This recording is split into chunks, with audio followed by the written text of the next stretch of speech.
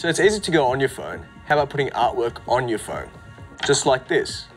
I've used a few photographs I've taken, so what you're going to need are your images printed out on some paper, a sponge brush, a pair of scissors, a Stanley knife, phone case, a marker and pencil, some craft glue. If you're making this project at home, your Stanley knife and scissors are very sharp, so make sure there's an adult to help you out. Let's get started. So I've picked a couple of photographs I've taken on my phone. I've got some birds in the sky, a beach scene, the sky at sunset, and our cityscape. I use my own photographs, but you can use some of your own drawings or even some cutouts from a magazine. So I'm going to use these to make a cool design on my phone. So I think I'm going to choose the sunset, some parts of the cityscape, and the beach. So the first thing you need to do is pick the photograph for your background. I'm going with the orange sunset. I'm going to flip it over, grab my case, place it over the top, and just outline it with my pencil. Be sure to draw out any holes or buttons that you may have in your case. So just cut around, following the outline. Once again, these scissors are quite sharp, so make sure there's an adult around to help you out. So the next step is, we're gonna cut out the little outline for the hole. I'm gonna use some corkboard on the table and my Stanley knife. Once again, these are super sharp, so make sure there's someone to help you out. And now just pop that out and now you have your background. So let's start on our design. With this image, I'm going to look over it and see, see which parts and which elements that appeal to me. I'm going to cut out a few different images and see what works. Let's contrast it with something else. I'm to use a beach scene. So I'm going to grab my phone case. Since the waves are going to be the base of my case, I'm going to place it over again and draw another outline. Again, grab your scissors. Just go nice and slow. So they are quite sharp. I'm just going to cut across and just follow the lines of the wave. And I'm just finishing off by cutting down the line there and curving back in. And there we have the base. So just play around with your different elements until you come up with a design that you like. So I've decided on the cityscape behind the waves and the orange sunset as the background. Now let's stick them down. Grab your sponge brush, dip into some strong craft glue, just get rid of any excess, and just coat a thin layer of glue over the case. Make sure you cover the entire surface. So your first image is the background. Use the base to line it up and just press it down. Grab some more craft glue, get rid of any excess, and just coat the photograph now. So let's paste down our other images.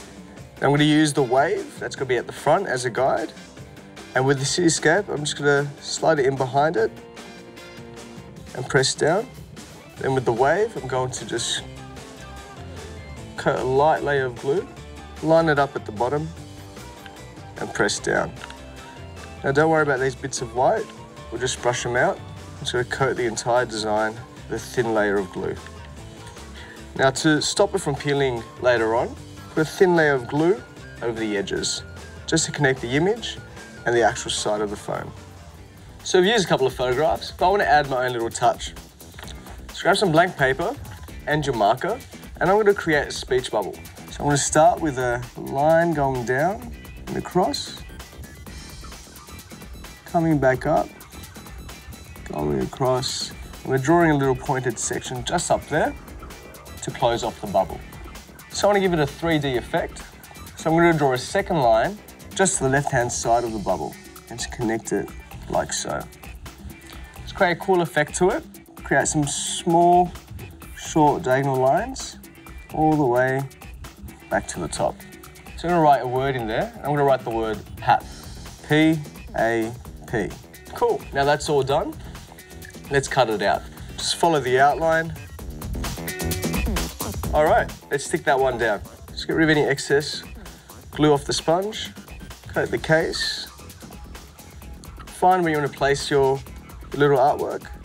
Just press it down nice and gently, and then just put your final coat over the entire design.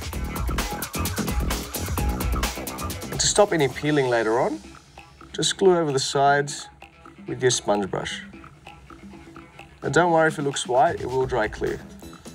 Now leave it to dry for a few hours, or maybe overnight, just to be safe. Cool, so it's completely dry. There you go, your own personalized phone case. Whoa, gotta take this one.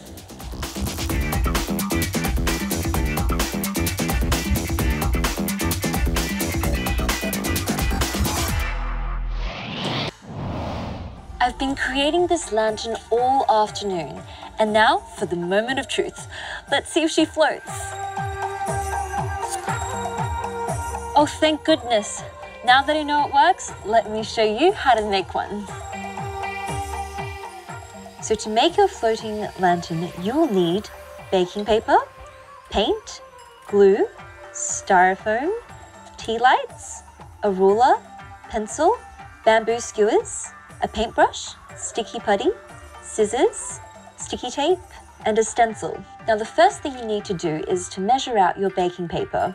My one is already measured, but you need a long sheet that's 53.5 centimeters by 30 centimeters.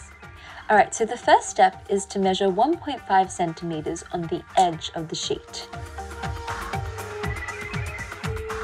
Now I'm gonna rule a line through it we know that that's where we will fold our first crease. Our next measurement requires us to make four markings each 13 centimeters apart.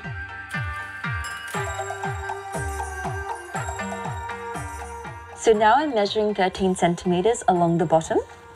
Because there's a little bit extra, I'm just going to trim it off. So using the dots that you just measured out, rule a line across. Including the first crease I made, you'll have four lines in total. Now we can start folding. So to make your first fold, we're going to fold our sheet of paper in half and then open it up and then from the short sides we fold in to the center crease. And we'll do the other side as well. And now we just unfold and then you'll have four panels. One, two, three, four. So now you've got all your creases, flip your paper over to paint on the outside. Now I'm going to do a stencil in the center and then leave a panel and then do another one here. Grab some gold paint and add a bit to my pot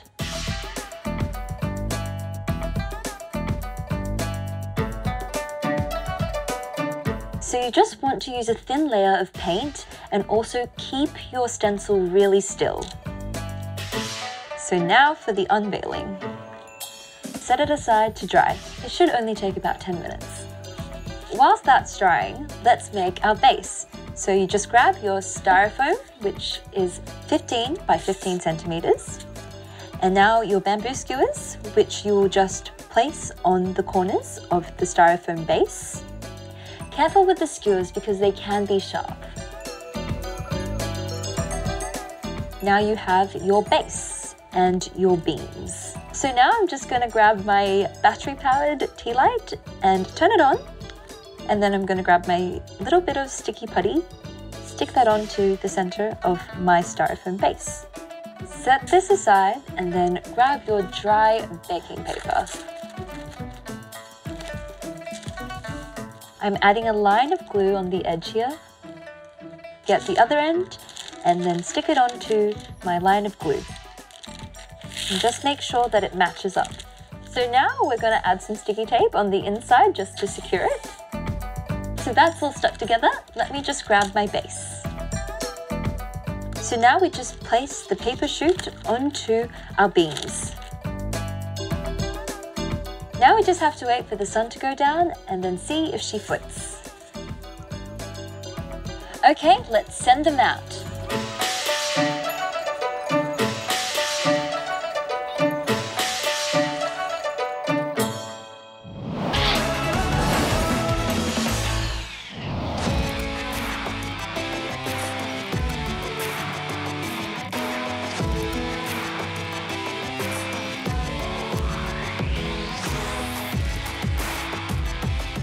Hi, I'm Joel Coleman. I'm a professional photographer. And I spend my days going on creative adventures and taking photographs like these. As far as style goes, I'd say creative adventures inspired by the sea.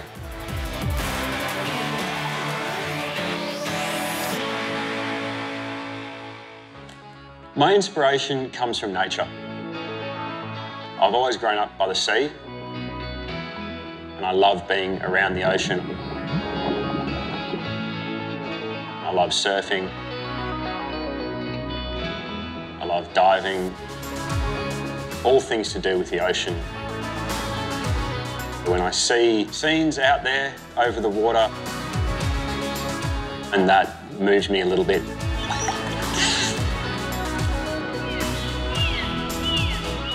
And that's what I try and relay to other people. There are things in the ocean that can potentially eat you. Sometimes it's a good idea to get out of the water when they show up. But so far, I've still got all my fingers and toes.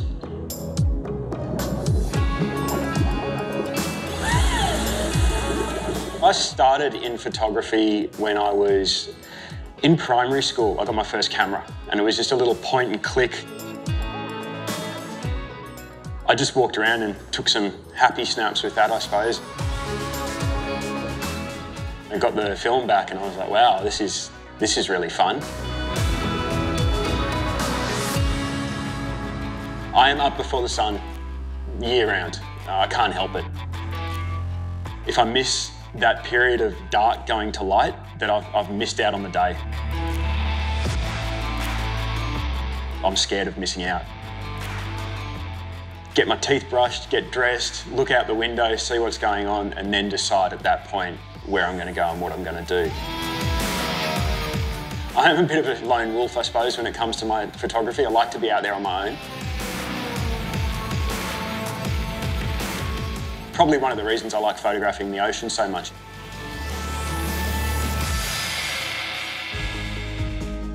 Photography for me and why I do it is because I'm really passionate about it. I really enjoy doing it. I love being out there with the camera, in nature, and taking photographs.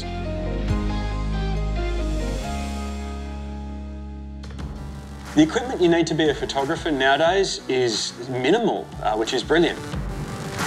And you can get started with a mobile phone or a really, really entry level point and shoot.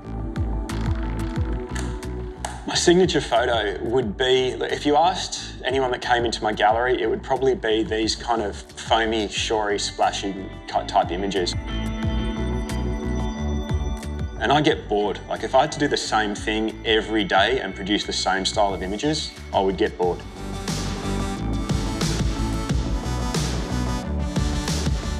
So I try and work on a style, know that I've, I've done it to, to the best of my capabilities, and then move on to the, the next project or the next style and, and try and really get my head around that and produce something that I'm proud of there, and then move on again.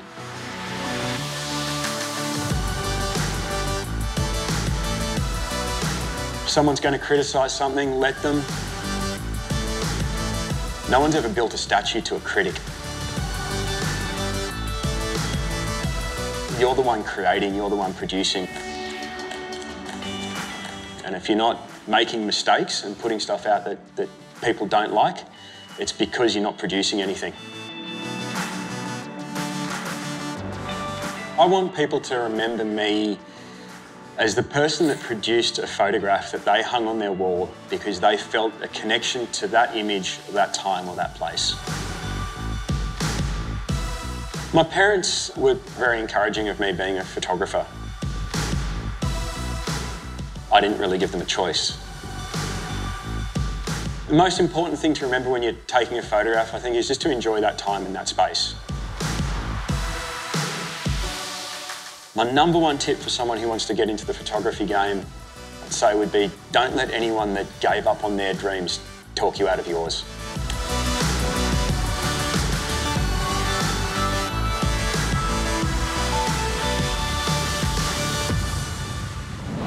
Harajuku is an area in Tokyo, Japan that is known for its outrageous style and its kooky knickknacks. I picked some up when I was there last, and it's my inspiration for this crazy clock today. Now, the most important thing for this project are these, these little figurines that you're going to place where the number should be on the clock. Now I just picked these up from a toy shop. They're actually strange little erasers, but you could use anything like an old button, bits of an old toy, jewellery, anything at all. Now what we're going to need is obviously some figurines, a clock face, a paint sponge, a pencil and ruler, paints, clock hands, a clock movement, a drill and a hot glue gun. You'll need an adult's help with these last two. Now the first step is to make a hole right in the middle of the clock face, so let's rule it out. Now here's a little handy trick. Just get your ruler from one corner to the other and mark in the center, and then repeat on the other side. Okay, that's right in the center. Now you need to get an adult to make a hole for you. Today I'm going to use a drill. Okay, moving on to our next step, and it's time to paint the clock. Now the colour I've gone for is light green. It's neutral and it's going to make my figurines pop. So I'm adding a bit of white to the green paint just to lighten it a little bit. Just mix it through well. Now I'm using a paint sponge today because it gives a more even finish. You won't have any brush strokes. Now I want an even finish today, so I'm going to give it two coats.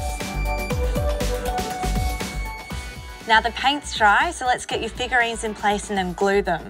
Now a little trick I use is get a ruler and you work top to bottom. So there's our 12 and our 6 and you just keep going the whole way around the clock.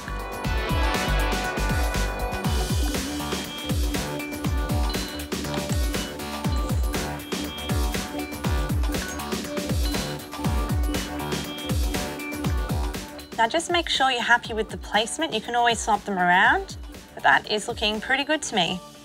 All right, now we're going to glue everything in place. Just remember to have an adult around because we're going to be working with a glue gun and it can get really hot. So let's start gluing.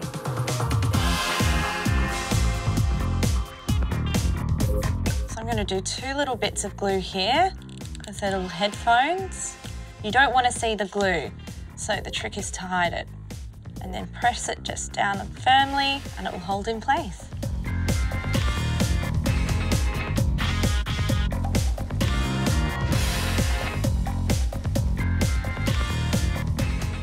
no, it's going everywhere. Don't worry, you can pull the glue off at the end.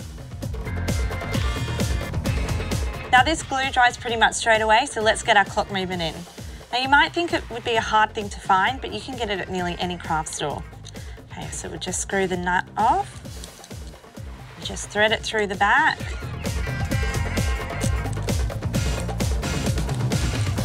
Time to put the hands on.